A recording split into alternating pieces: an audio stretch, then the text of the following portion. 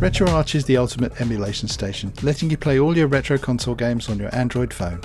Here we'll show you how to set up RetroArch for Android, download some cores, tweak the settings so they're just right, and even do some weird stuff like showing you how to activate achievements for your games. Most importantly, we'll show you how to get gaming on RetroArch. Hi, this is Phil from Make Tech Easier, and here is how to set up and play games on RetroArch for Android.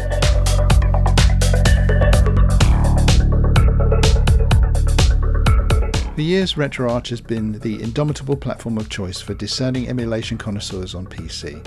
The all-in-one package designed to load up all your favourite consoles and games from one place is available for Android too, though the intricacies of setting it up are much less talked about.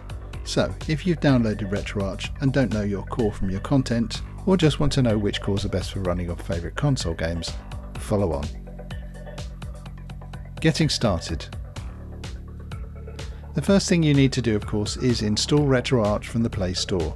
Once you've done that, open RetroArch and you'll be presented with the main menu, which may mean absolutely nothing to you if you are unfamiliar with RetroArch. First let's get some cores downloaded to your device.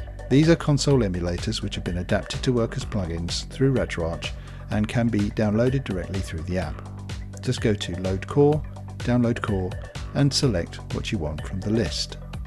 Note that as soon as you tap a core in the list, it will download to your device.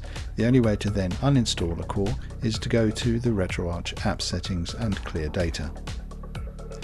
So which cores are best for which console? Below are our core picks for the most popular consoles, based on the broadest compatibility and the best performance with most games. There will be certain games that don't quite conform to this list, but for most people we believe that it's optimal. Best cores in RetroArch. Game Boy Advance, MGBA. Game Boy, Game Boy Color, Gambatte. Nintendo or NES, Nestopia.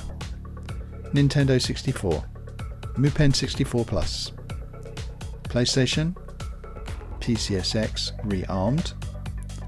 Sega Genesis Game Gear, Genesis Plus GX, Pico Drive from Sega 32X Games. Sega Saturn, the strangely named Yabause, very strenuous performance wise, and Sega Nintendo or SNES, SNES 9X. Configure RetroArch. After you have all your cores set up, to get it to detect your games, you'll need to get the ROMs and ISOs for your games onto your Android device. We stress that these should be copies of games you already own. Once you have the games on your device, you can load them one by one by going to Load Content, then navigating to them from there. Alternatively, you can set up proper playlists. To do this, tap the Playlists icon, middle option at the bottom of your RetroArch screen, then Scan Directory. Select the directory where you keep your ROMs, then select Scan this directory. The ROMs for each console will now be neatly contained in separate folders in the Playlists menu you can select and run your games from here. Configure controls for each core. This can be a bit confusing. If you're just using the touchscreen then you don't need to do much as each core has its own customizable on-screen touch display to control games.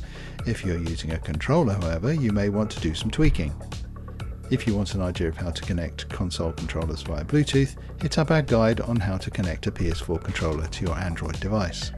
Link in the description. To make changes to controls and so on in each individual core, you first need to load that core using load core and load a game using load content or from your playlist.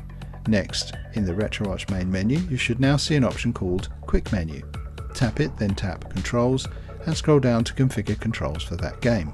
Here's the thing, you can then save these controls to apply to all games on that core. Save core remap file or just to that individual game. Save game remap file. Select the save option that suits your needs and then you can get back to your game. Other tweaks. From the quick menu for a given core, you can make all kinds of tweaks.